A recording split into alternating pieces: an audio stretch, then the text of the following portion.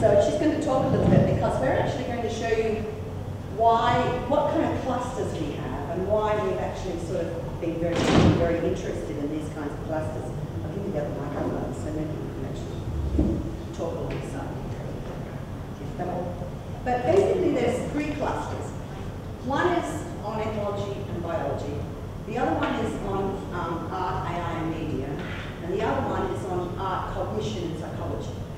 And in those, the reason why this fits to the sort of second cycle of the Bologna protocol is that the artistic workshops and the other post-academic kinds of positions are stimulated by the fact that most of our second supervisors in ZNode are scientists. They're actually not theoreticians in the arts. They're actually scientists very much embedded in their own research in science institutions. So I'm going to continue now talking about why we think art and science can create some kind of novel sort of knowledge in the future. So one of the other reasons that we actually have um, a network or promote these networks is through a similar way to M-Node. We actually have an incredible amount of different invitations to go to different places all over the world where we're actually kind of integrating and listening to other people do their research, commenting on their research, making collaborations out of it. And this is our list actually, just where ZNode has been since its inception. So the first example I gave, this third cycle, is this three sectors of focus, which are very important, environment, neuroscience, and technoscience. In my own work, my own work is like really focused on neuromedia. That's my, that's my phrase for it, I invented the phrase. And for me, it's about understanding how we think rather than what. It's about looking and thinking uh, and, and training people to open up about the way they think.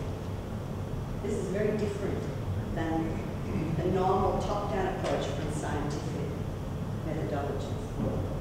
So how can we encourage more transdisciplinary analysis, I would say, and about perception itself to complement the field of media art and human-computer interaction, but how do we actually use that information to promote a, a different way of thinking, to change the mindset of how we think. This is a really big challenge, but I actually think without that kind of challenge, we're not going to move forward with any sort. So how will this knowledge increase a kind of mediated learning is the big question. So for me, neuromedia are hybrids of artistic interpretation and neuroscience research. They're kind of collaborative attempts to demystify the complexity of perception through various mediated interactive technologies, and they're combinations of self-reflection and scientific objectivity. Artworks that combine the viewer's own perceptive like, with behaviour in scientific research about the same subject. And artworks that are conscious of how sensory perception works and can complement this kind of level of brain plasticity and can actually think about um, ways or invent new ways to open up the thinking process through the body, through bodily perceptive interaction. This to me is a really big challenge. So I'll just show you quickly one of those works. This is the latest one. It's called um, Summer Book. It's actually about five overlapping representational maps that are caused by a simply tactile touch from the peripheral part of the body to what's called the somatic part of the brain, the somatic cortex, where five representational maps help us understand the environment we're in. These are, in fact, shape, size, stretch, translation of that information from the peripheral sensory nerves through the thymus gland and other glands into the brain, and also cooperation, which lends itself to thinking about how the hindbrain the, understands and transforms the information that's coming from our peripheral nerves to our cortex and back to our motor nerves. By understanding perception, we are able to understand them because we are constantly surrounded by cross-modal interaction of all of our perceptions happening simultaneously.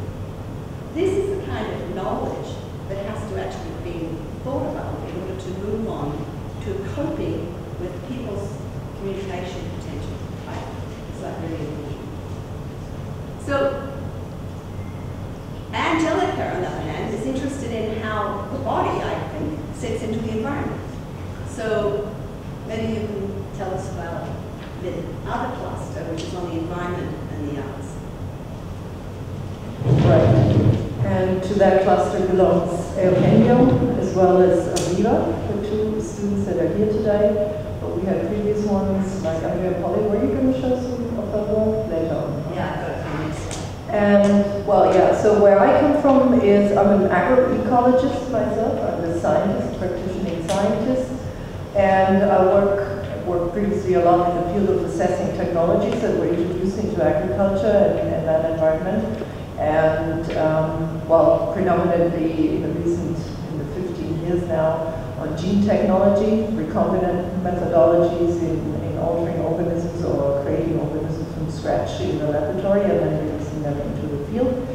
And I have come to realize um, enormous entanglement, as the previous speakers were saying, of corporate interests and uh, all the technologies were pushed by the corporations and how difficult it is to get any, any independent and, and critical assessment carried out and, listened to in, in policy or beyond scientific circles if this entanglement of economic interests, vested interests, and stakeholders um, are in place. So from there, I had to expand my interest and go look for more for a larger frame within which I realized I was subjected to powers that I couldn't control in order to understand them and understand how that influenced my work. So that's how I reached out to the arts and, and, and other fields beyond the small science field um, to get better, first of information, inspiration, and also um, um, create alliances and networks that go beyond